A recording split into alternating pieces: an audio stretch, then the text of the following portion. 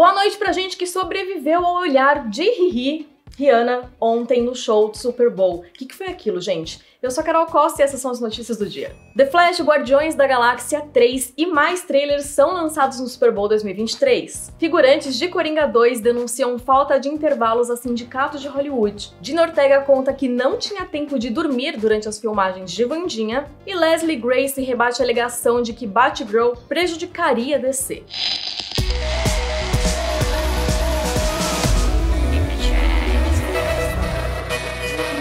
Os figurantes trabalhando no set de Coringa 2 denunciaram a produção ao SAG, o Sindicato dos Atores de Hollywood, por desrespeitar o direito dos trabalhadores e intervalos e pausas para ir ao banheiro. Segundo TMZ, os figurantes do filme foram obrigados a trabalhar por horas sem pausa e sem direito a sequer tomar água, enquanto a equipe acertava os detalhes técnicos e de câmera para que o diretor Todd Phillips pudesse finalmente gritar ação no set. Ainda de acordo com a publicação, o SAG recebeu as reclamações dos figurantes e está em contato com a produção do longa para conduzir uma investigação. O sindicato vai passar a monitorar o set para entender melhor a situação. As filmagens de Coringa 2 estão acontecendo no lote da Warner Bros. na Califórnia, com previsão para durar cinco semanas. Joaquin Phoenix, de volta como personagem principal, e a Lady Gaga estrelam a produção.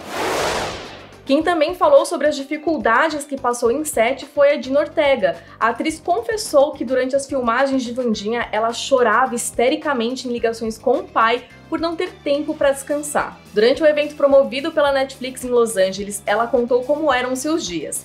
Ela disse: Minha rotina era chegar ao set duas horas antes do começo das filmagens, gravar por 12 ou 14 horas, depois ir para casa e entrar em um Zoom para ler alguma aula de violoncelo ou esgrima. Dina ainda acrescentou que grande parte da pressão em torno do trabalho foi colocada por ela mesma. Por exemplo, o produtor Tim Burton disse à atriz que ela não precisava aprender o violoncelo para cenas em que a personagem toca um instrumento, mas ela queria estar o mais preparada possível.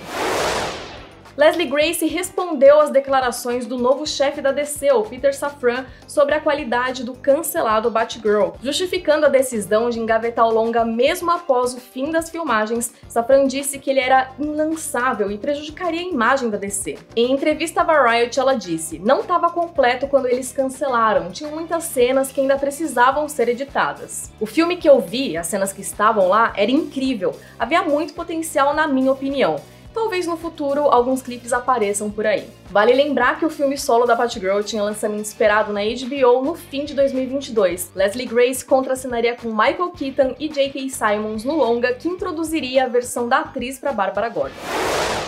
E teve surra de trailers no Super Bowl. Quando a final da NFL foi ao ar na noite de ontem, os estúdios não economizaram e anteciparam as maiores estreias do ano. Começamos com um trailer bombástico de The Flash, com direito a Michael Keaton com o traje do Batman e o retorno de Ben Affleck. A prévia trouxe um clima frenético em torno do herói vivido por Ezra Miller e revelou também os flashes em ação ao lado de Supergirl. Seguimos para o trailer de Guardiões da Galáxia Volume 3, onde a gente vê a equipe reunida em uma missão perigosa para salvar a vida de Rocket. E tem mais, fomos apresentados ao novo vilão e vemos como será o esperado reencontro de Peter Quill e Gamora. Também teve prévia de Transformers, O Despertar das Feras, The Mandalorian, do novo Indiana Jones e por aí vai.